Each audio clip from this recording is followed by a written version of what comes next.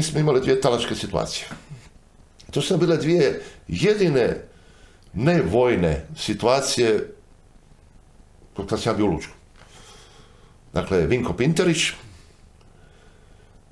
koga smo likvidirali u Zagorju. Za ove mlađe možeš pojasniti o kome se Vinko radi. Pinterić, jedan stari kriminalac, koji je već bio ranjen od strane policije, uhapšen teško ranjen i pobjegao je iz Šanegradske, iz pritvorske bolnice, on je uspio pobjeći. On je zaležimo nekoliko ubistava. Između ostalog, likvidirao je, ubio policajca u Beogradu. E, bila je velika potraga za njim, imali smo problema sa medijima. Zvali su ga Robin Hood i slično. Pa ne budete našeg Zagija, pa on je dobar. Ono, to što ubije pa ljudi nema veze. I njega je lokalna policija sačekala u zasjedi. Bio je kod svoje ljubavnice Katice Bahunček. I kad je izlazio oko pet i nešto ujutro, stoje Pintariću policija, on je vrlo jednostavno izvukao pištolj, uzeo Katicu za vrat, rikvec je spalio par metaka i tad nas dišu. E, vrlo brzo vožnje smo došli i počinju pregovori. Dakle, uvijek postoji ta zakonska regulativa. Ide se prvo nježnije, pa diže se stepenica.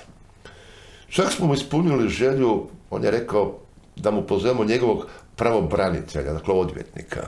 Jedan stari gospodin Mršav došao je, pokušao je priča preko megafona, zaklonjen iza vrata od oklopnog vozila, pa je po njemu pucao.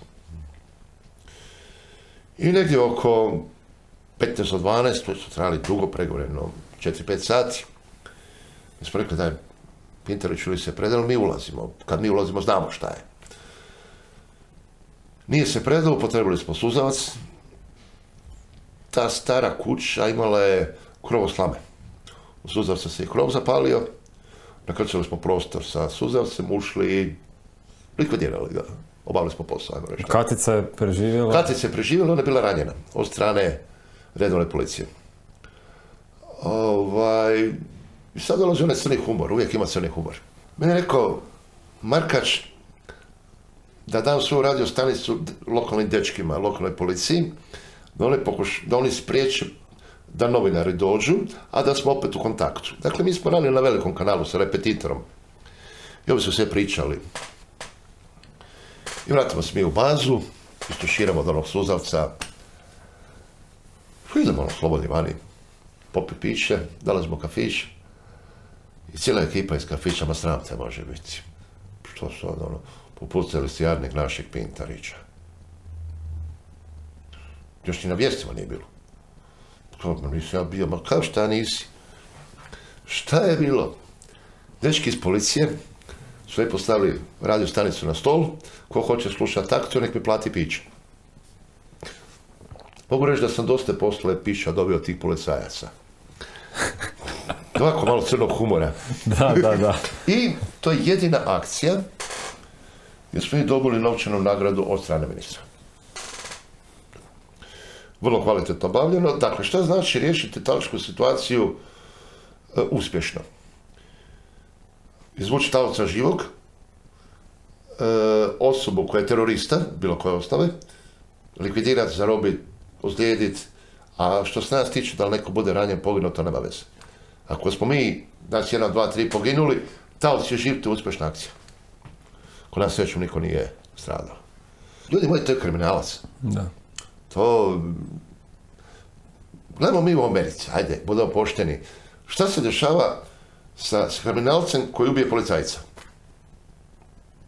Ne treba mu sud, zna se smrtna kazna je. To se zna. E, još bi nešto napomenuo. Nama je osnovni posao antiterorizam. Tu se jako puno spomenje ta talačka situacija. Dakle, mi smo protiv terorista. Terorista može biti bilo koje vrste. Možete imati talačku situaciju uslijed pljačke banke.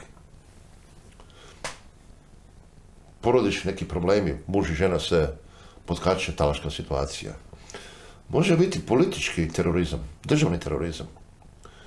Mi moramo biti svjesni da je Rijeka prvi grad u svijetu koji je doživio napad ekstremnih muslimana. Kad to dvije prva bila koja... ono, Ne, 91. druge, e, sa autobombom ispred policijske postaje. A bilo je to kasnije, Ne, nakon rata. 91. druge. Sigurno. druge, treće, tako nešto. Glavni prvi u svijetu. E, vi kad imate politički terorizam, tu živih baš ih nema, terorista. Od jednog od naših bivših zapovjednika Lučkoga čitao sam diplomski rad, talaška situacija, olimpijske igre u Mihenu. I nakon završene akcije GSG-9, svi teroristi su bili likvidirani.